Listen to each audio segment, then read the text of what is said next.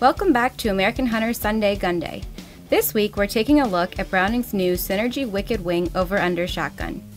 Designed specifically for waterfowl hunters, this isn't a typical Clays range Cynergy, though it will still bust a ton of orange and will turn more heads while doing so.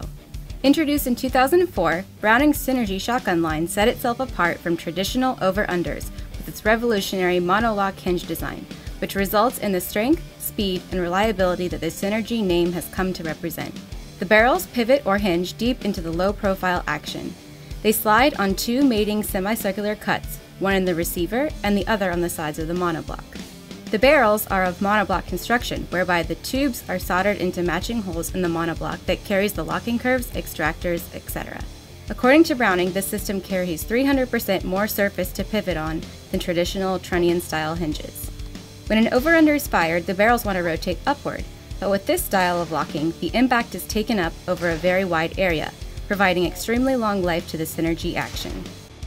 Of note is Browning's reverse striker mechanical trigger. There are no hammers and firing pins, rather a spring-loaded integral striker as in a bolt-action rifle. Because inertia isn't needed for the hammers to set, the design eliminates the possibility of the second barrel not firing.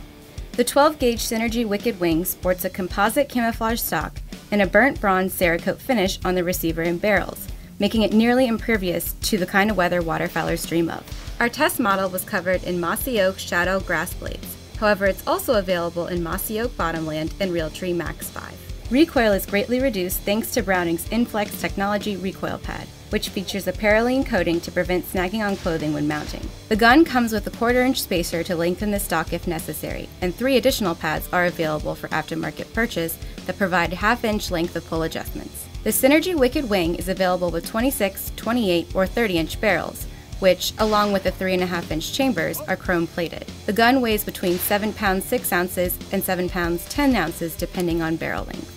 Three extended Invector Plus choke tubes are included, improved cylinder, modified, and full, and are designed to resemble federal bird bands. It has an MSRP of $2,339, but with its excellent engineering, durable exterior finish, and overall design, you'll get your money's worth out of the Cynergy Wicked Wing.